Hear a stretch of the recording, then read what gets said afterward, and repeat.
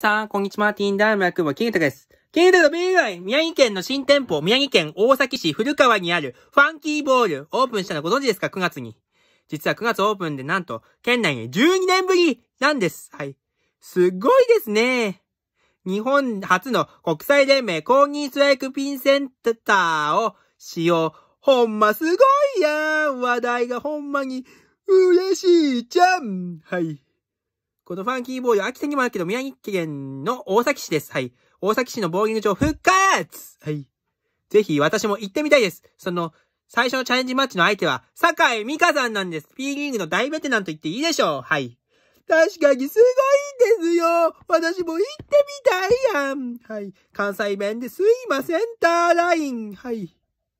くだらないギャグ連発してすいません、ターライナー。はははは。サブト1枚はい。というわけで以上でございます。ぜひ来てみてください。バイバイ。